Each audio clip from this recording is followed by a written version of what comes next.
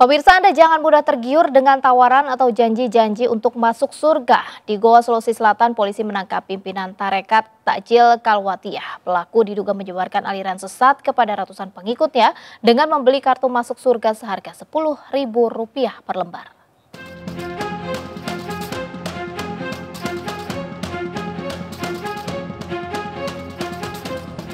Andi Malakuti alias Puang Laklang, pimpinan tarekat Takjil Kalbuatia, tak berkutik saat digiring aparat polisi Goa. Puang Lalang diduga menyebarkan aliran sesat dan penistaan agama dengan cara menjanjikan kepada ratusan pengikutnya dapat masuk surga hanya dengan cara membeli kartu masuk surga seharga Rp16.000 per lembar. Pelaku ditangkap polisi di rumahnya di Desa Patalasang, Kecamatan Patalasang, Kabupaten Goa. Dari tangan tersangka polisi menyita ratusan alat bukti berupa buku, kartu masuk surga, foto-foto, cimat, dan uang tunai 5 juta rupiah.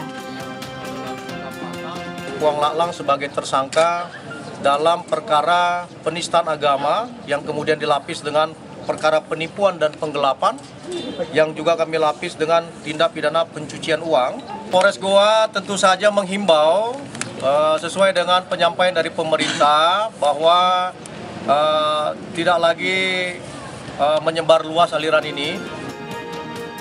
Akibat perbuatannya tersangka dijerat pasal berlapis tentang penistaan agama, pencucian uang, penipuan serta penggelapan dengan ancaman kurungan minimal 15 tahun penjara. Dari Kabupaten Goa, Sulawesi Selatan, Bukma iNews, MNC Media melaporkan.